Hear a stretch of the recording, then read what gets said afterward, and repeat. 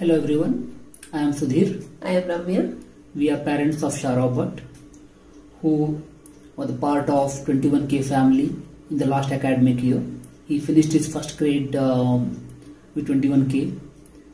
Uh, due to pandemic and the, all the related issues, we were searching for an online school, which Ramya was uh, the spearheading it. While uh, doing the research, we came across 21K, and when we studied further regarding 21K, we liked its structure and the way uh, they explained their academic here and decided to go for it.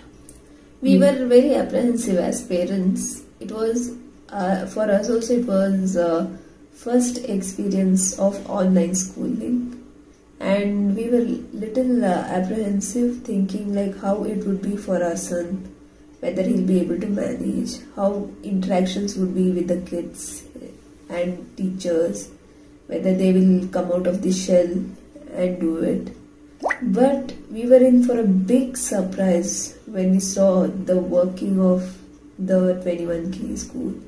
And the teachers were really cooperative and they, they were putting more efforts and giving a lot of attention to kids equally.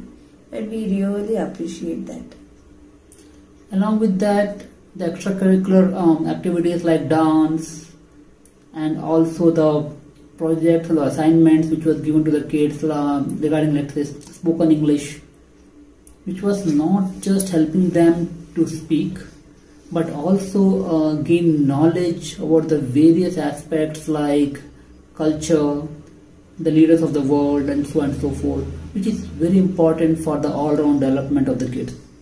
So all these things uh, were an eye-opener, right, uh, for us, especially uh, the various feedbacks we were getting. Having said that, uh, we were always uh, looking out for uh, for KV Kendriya Vidyalaya, and for this year we uh, Sharaf got through, and hence we had to apply for the TC. Once again, 21K uh, was very prompt and, and they quickly responded to us and on time we were able to get him admitted.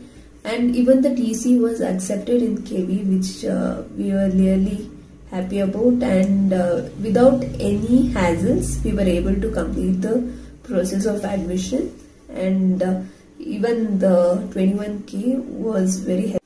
So we wish 21K all, the, best, in the, in the future endeavors. Thank you. Thank you.